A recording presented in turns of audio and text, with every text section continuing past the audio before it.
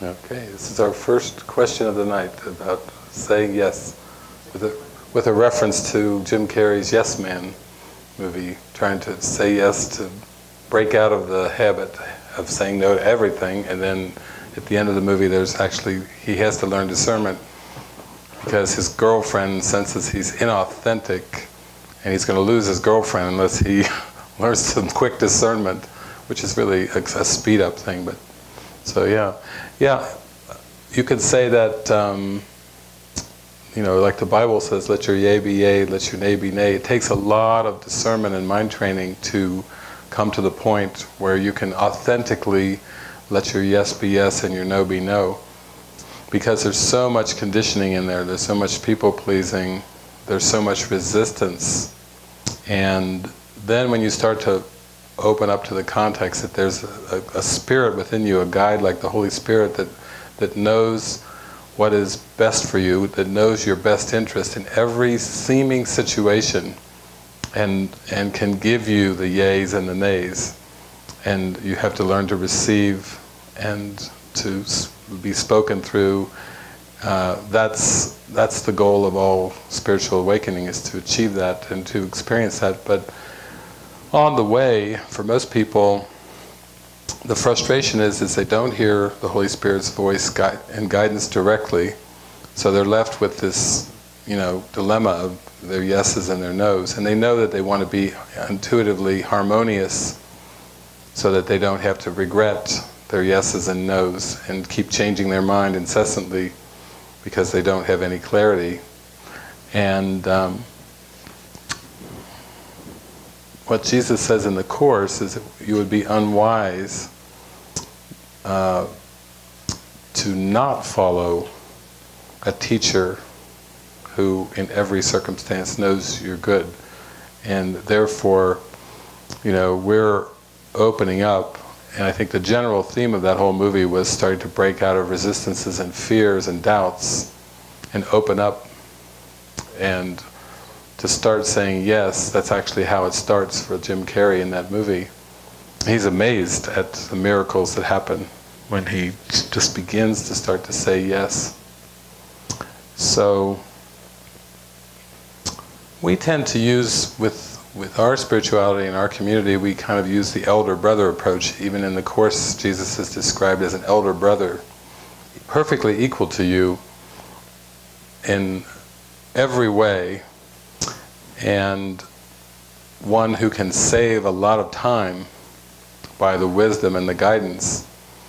And so that's what we're all about is collapsing time and saving time, bring the alpha and the omega together to, to a unified experience. And so we kind of advocate more of an elder brother approach in the sense that um, just like in this world, if you if you had a, an AA sponsor who had been, we'll say, sober for 35 years, who was humorous and seemed very clear and wise and seemed to offer really wise things to a lot of the people, there would be a sense of respect for that elder brother who had done the program, worked the program, and seemed to be excelling in all aspects of living.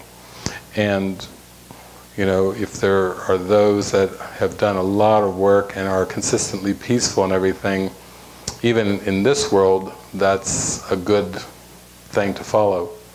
Uh, not necessarily that those teachers would tell you everything that you should and shouldn't do or would direct you specifically, but um, certainly would be an inspiration and certainly be, could be someone that you could join with and link with.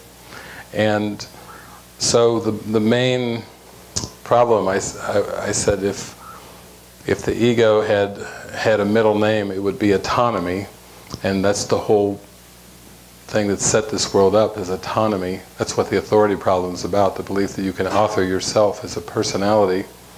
And so it's going to take a lot of surrender and letting go of those autonomous decisions and to come into alignment of the Holy Spirit, decide for God for me or today I will make no decisions by myself. That's a, a very humble mind that, that can actually say and mean today I will make no decisions by myself.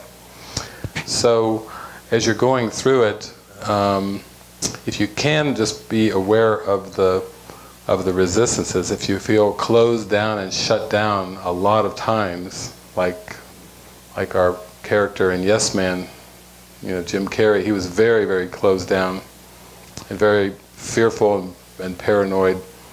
And still there was a, almost like an arrogance and a cockiness and a pride. I know there have been spiritualities that have just um, just like the drug slogan is just say no, there are some spiritualities that just say yes. And that blind yes to everything is not going to get you very far either because it's just like a reaction. It's not, there's, there's no discernment at all with it.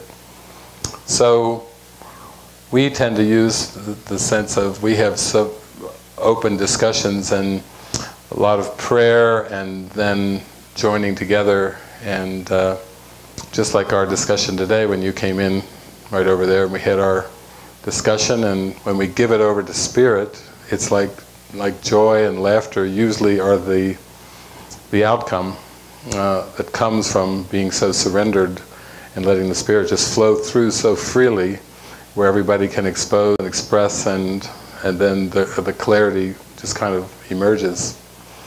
So yeah, I certainly wouldn't advocate saying yes.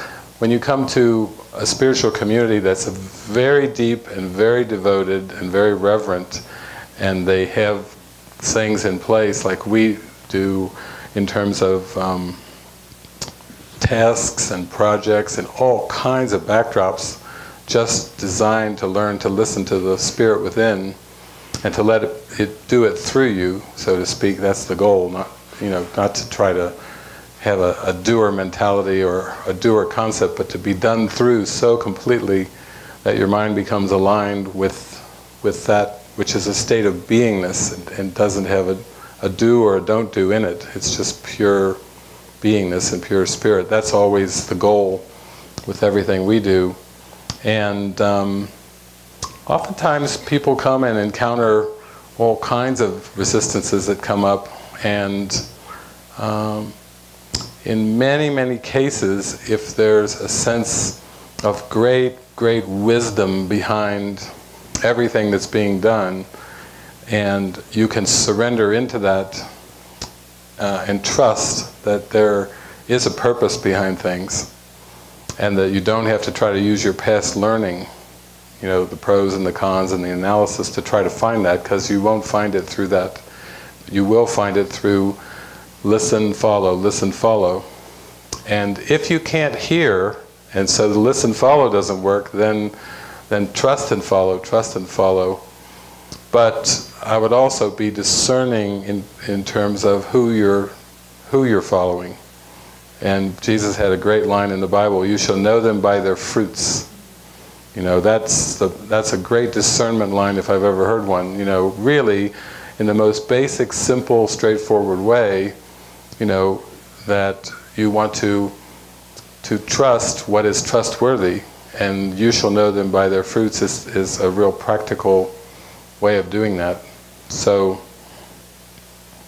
so I feel like in this world we have mentors and we have um, you know those that, that seem to have gone before and seem to have worked this just like we have apprentices working with craftsmen it's the same thing spiritually, you know, that that same thing works. If you want to learn a craft, you would learn from a master craftsman. If you, if you want to learn and experience peace of mind, then you turn to those that are peaceful to experience that. And that doesn't necessarily mean successful as the world judges it, because uh, it can be a, an inverse thing there because Jesus says you can't judge your advances from your retreats, but you can begin to discern more of a sense of a lightheartedness and a peace, and that's something that you want to learn to trust more and move towards and follow, even if uh, you aren't hearing or feeling something yourself. You know, it can be that you'll break through resistances by by trusting and following, and that's really something that that is very important. We teach is very important. It works very, very well. So it's worked well for us.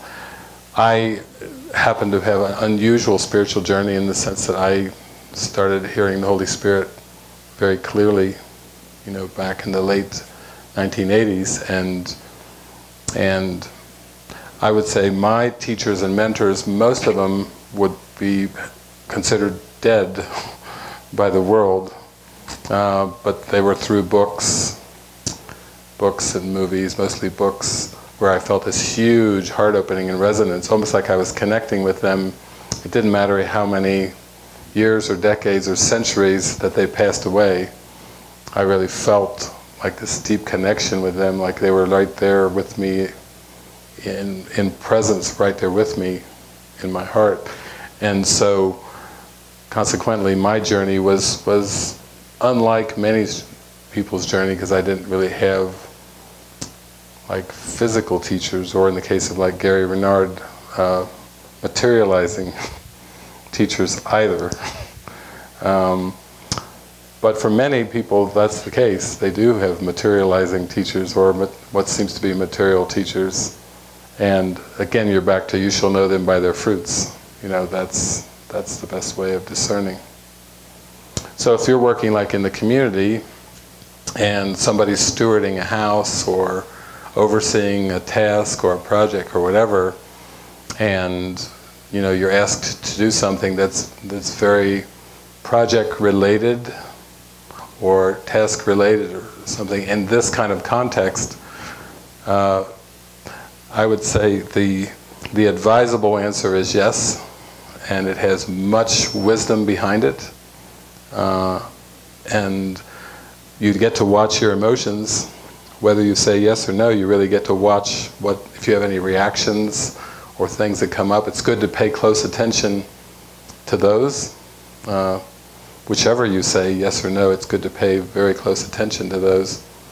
And in the end, it's, it's the way that you unwind from the ego because in the end the ego is, is a, a decision-making process that's based on a lie. And you want out of that lie. It's like a closed system too, so you know that's why it seems to take quite a bit of willingness to to come outside of that. It's kind of a circumventing lie that's all around uh, that, that's so all-pervasive. As they say in the Matrix, everything you see is, is part of that lie, part of that control. So it's it's advisable to say yes in the, that kind of context and um, also pay close attention to your emotions. And then through saying yes and feeling the, the joy and the happiness and, and feeling that deep flow of spirit, that's the most important thing, is starting to realize that it never really was saying yes to externals. It was really an internal process all along. It just looked like there was external characters involved. And the whole point of the process is to collapse that whole inner-outer thing too.